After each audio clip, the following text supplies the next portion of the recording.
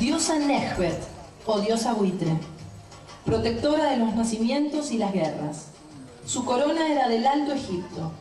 Se encargaba de la protección en la coronación del faraón, también de las fiestas, el júbilo y las batallas. Diosa que figura en las pirámides, con lo cual pertenece al predinástico.